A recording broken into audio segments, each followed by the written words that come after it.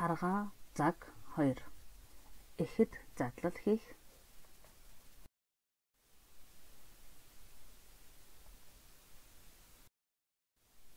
сэтэлжүүлэх үе та бүхнийг яагаад дөрвөн багт хуваасан гэж бодож байна вэ? Учир нь бат бэх найз нөхдийг бэлэгцэн үнэнч найз нөхдийг бэлэгцэн. За дөрвөн багийнхаа үнэлгээг тавина.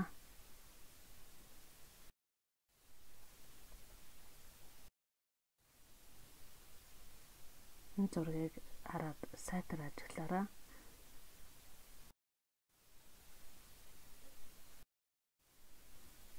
Хичээлийн сэдв маань харгаа цаг 2 эхийн зохиомж. Хичээлийн зорилго маань хүн хүнээ хайрлах, эвтэй найртай амьдрах, ухаанаар асуудлыг шийдэх, үнэнчээр нөхөрлөх, үйлд дэмжлэг үзүүлэх. Хичээлийн зорилт. Шүлэг зохион эхийг уншиж тэмдэглэн, дүрслэх хурмайгийг тайлбарлана, эсрэг утгахыг хилцгийг олно, эхийн гол санааг олно, эхийн сэдвийг олно, эхийн хэв маягийг олно. Хичээлийн дэг маань хүндэтгэл бол хамгийн эрхэм дээд чанар. За, эвтэй бол хүчтэй, бүгдээрээ хилэлцвэл буруугүй. Цаг бол алт юм. Үгийн тайлбар харгаа гэдэг нь гацууртай адил болоод яс сэрэг чанар хүнд дүрс зузаан уул хөвчийн жихэн газарт ургадаг нэгэн зүйл мод юм. Цаг гэдэг маань говь газар ихэвчлэн эсэрхэг хөрстөө хонхор тойромд ургадаг дүрсэн цагаан яслаг хатуу нэгэн зүйлийн мод юм а. Харгаа заг 2 Эрдүүд цагт харгаа заг 2 нутаг булаацалдаж тэмцэлдээд харгаан дийлээд хангаад нутаглах болж заг модыг говь руу хөөчихсөн ажээ. Гэсэн ч уулын орой хяраар харгаа мод эрвэн сэрвэн ургасан байдаг нь заг ирж магадгүй гэж харуулдаж харж байдаг гин. Уулын араар ургасан жижиг модыг харгаан хүүхдүүд гэдэг байна. Харгаан модны яр нь хадаас нэвт нэвт шаасан юм шиг байдаг нь загийг харуулсан сум түүний бид үлдсэн тэргэнэ. Зохиолын өгүүлэгдэхүүн нь дунд нь орсон э усгийг дураар нь сольж өв болговол унтах орны хэрэгсэл болоод уран зохиолын баатар болно. За харгаа цаг хоёрын тухай. Эхийг ухаарч уншин. Эхийн агуулгыг товчлон бичнэ. За бичгтээ цэвэр алдаагүй уран яруу товчлож бичээрэй.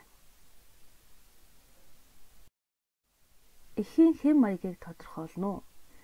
Харгаа заг хоёр их маань эргцүүлэмж, тоочмж, хөөрнөмж, тайлбарламжийн аль нь вэ? За энэ их маань тайлбарламж их байгаа. Эхийн сэдв маань маргаантай зүйлийн тухай зөрчил, тэмцэл, тулаан аль нь байх вэ? Та бүхэн юу гэж бодож байна? Харгаа заг хоёр их маань маргаантай зүйлийн тухай бичсэн байна. За эхийн гол санаа маань хүчтний өмнө хүчгүй нь буруутай, хүчтэй нь хүчгүйгээ дийлдэг гэсэн санаануудыг илэрхийлсэн байна. Эсрэг утгад хэлсэн маань дэм дэмдээ дээс эрчэндээ. Биеийн хүчээр ганцыг сэтгэлийн хүчээр мянгыг. Эвтэй бол хүчтэй эвч шаазгаа бух барна зэрэг өгсөрч байна. За дүрслэх урмыг нутаг булаалтах гэдэг маань хүншүүлсэн утгыг илэрхийлсэн байна. Харгаа дээлсэн гэдэг маань мөн хүншүүлсэн утга. Загийг хөөв хүншүүлэл загийг харуулдаг хүншүүлэл харгаан хөөхтүүд гэвэл хүн модны яр хадаасаа ш юм шиг гэсэн утгнууд маань дүрслэх ур маягт орж байна. За харгаа цаг хоёрын тэмцэлтдэг нь зөв үү? Хэрв та нарт ийм явдал тохиолдвол яах байсан бэ? Харгаа цаг хоёр тандаж шүлэг бичнэ үү?